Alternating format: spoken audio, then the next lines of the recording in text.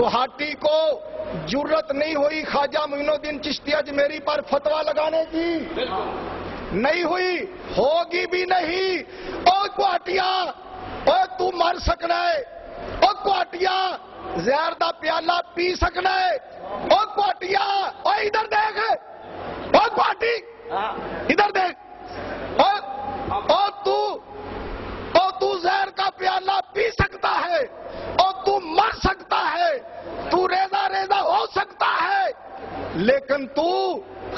معین الدین چشتی اجمیری پر مولوی سنا اللہ پر فتوہ لگانے کی جورت نہیں کرے گا۔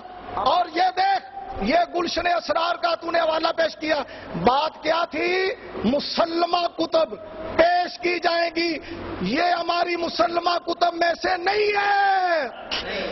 یہ ہماری مسلمہ کتب میں سے نہیں ہے۔ اس کا حوالہ صاف یہ ہماری موتمر کتاب نہیں ہے۔ اور دیکھ یہ تیرا مولوی عبد الرحمان کیلانی اور تیرا عبد الرحمان کیلانی وہ کہتا ہے موین الدین چشتی رحمت اللہ علیہ. اور تیرا عبد الرحمان بھی کافر ہو گیا۔ اور خواجہ موین الدین چشتی اجمیری کو کہتا ہے، کیا کہتا ہے؟ رحمت اللہ علیہ۔ اور بتاؤ، اس پر بھی فتوا لگاؤ۔ اور پھر یہ دے تیری پیشاب والی عبارت۔ وہ میں نے جواب دے دیا فتح شامی میں۔ کیا لکھا تھا؟ فلا یورکھا ہو اس کی اجازت نہیں ہے۔ یہ کھا گیا۔ اچھا یہ پیش کر دو۔ اور پھر یہ دیکھو۔ اس کو پیش کیا۔ اس کو پیش کیا۔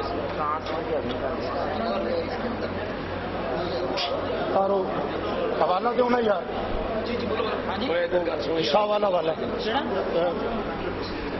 اور تیرا یہ مولوی، اور تیرا یہ مولوی سنا اللہ امر تسری، تو تو کہتا ہے نا پیشاب کے ساتھ لکھنا، یہ کیا کہتا ہے؟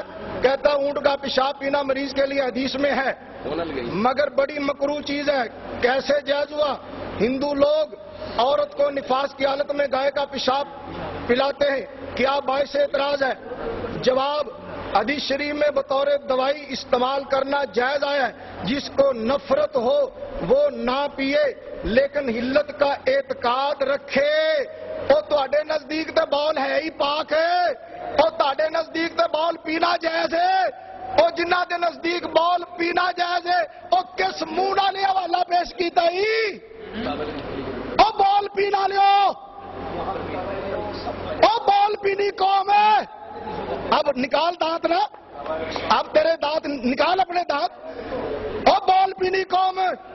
یہ کہتا ہے کہ بال پینا جائز ہے۔ اٹھائیے۔ اور پھر یہ کتاب کے لیے اور پھر دیکھ فتوا شامی میں فتوا شامی میں یہ لکھا ہوا ہے۔ جا جازا قتل معقود ماہو۔ جازہ قتل فتح شامی میں تو لکھا ہے، جو سمی نبی کو گالی دے، اس کو قتل، اس کو قتل کیا جائے گا۔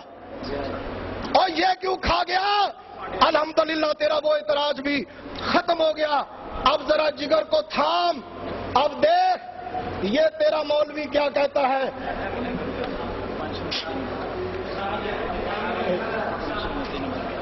دی کتاب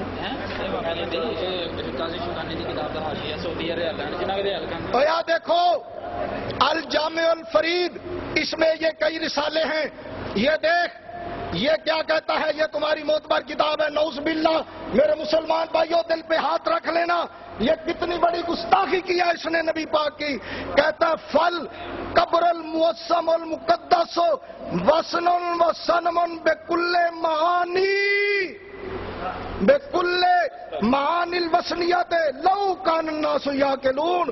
او میرے بھائیو، اگر مجھے اس خبیص عبارت کا رد کرنا مقصود نہ ہوتا، میں یہ الفاظ بھی اپنی زبان پر نہ لاتا۔ وہ کیا کہتا ہے کہ نبی پاک کی قبر معظم مقدس کہتا ہے وسن ہے سنم ہے، بت ہے۔ اور نبی کے دشمنوں اور نبی کی قبر انور کو بت کہنے والوں، تمہارا نبی سے تعلق کیا ہے؟ اور جس نبی کا کلمہ پڑھتے ہو، اس نبی کی قبر موسم کو اے بت کہتے ہوئے تمہیں حیا نہ آیا اور تمہیں شرم نہ آئی۔ اتنے بے شرم ہو گئے، جس نبی کا کلمہ پڑھتے ہو، اسی نبی کی قبر انور کو بت کہہ دیا۔ اور بت تو پلید ہے، بت پلید ہے بت کہاں جائیں گے؟ جہنم میں۔ بت جہنم میں جائیں گے۔ بت پلید ہے۔ او ظالمو، تم نبی کی قبر کو بت کہہ کر میرے آقا کی کیا گستاخی کرنا چاہتے ہو؟ اور نبی کی قبر انور تم گستاخ رسول ہو، تم نبی کے گستاخ ہو۔ ہم نے ثابت کر دیا، پہلی عبارت بھی پیش کی، اسرا مولوی اسماعیل دہلوی کی سرات مستقیم والی، اس کا بھی جواب نہیں آیا۔ یہ مر جائے گا، اس کا جواب نہیں دے گا۔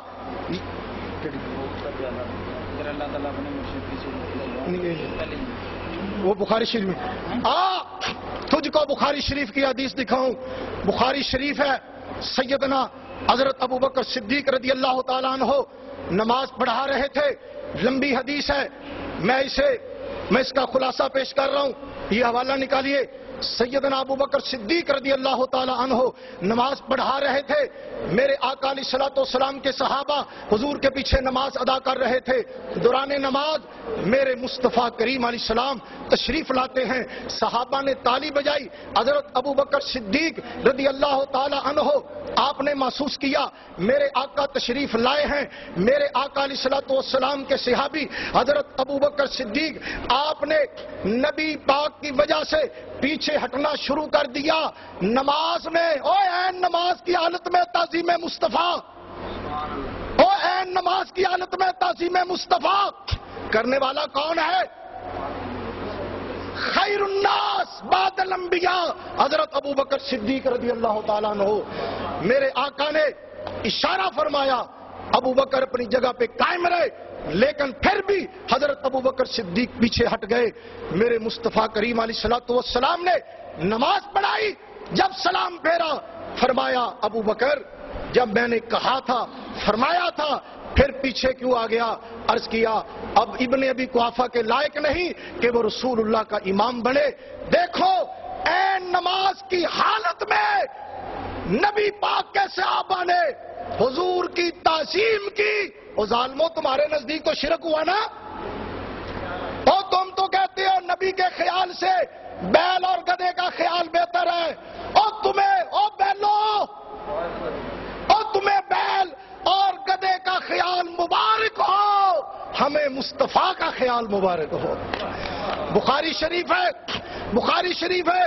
حضرت خباب رضی اللہ تعالیٰ عنہ سے ان کے شاگرد نے پوچھا، نبی پاک علیہ السلط والسلام کیا نماز میں زور اور اثر میں حضور قرات کرتے تھے؟ کہا کرتے تھے؟ توجہ اوے بات سن ادھر۔ اب دل تھامنا، حوصلہ رکھنا۔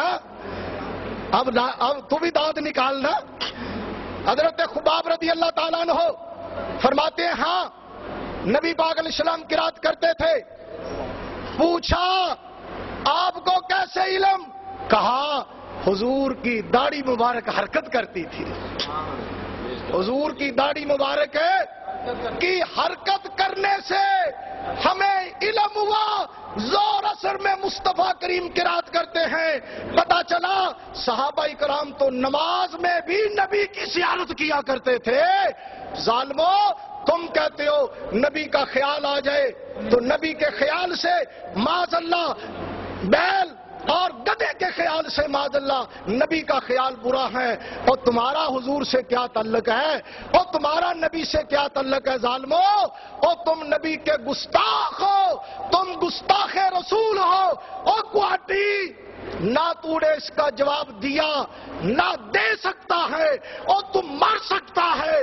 رب کعبہ کی قسم، تو اس کا جواب ہے خواجہ پر فتوا سنا اللہ پر فتوا عبد الرحمان کلانی پر فتوا اور نہیں لگائے گا۔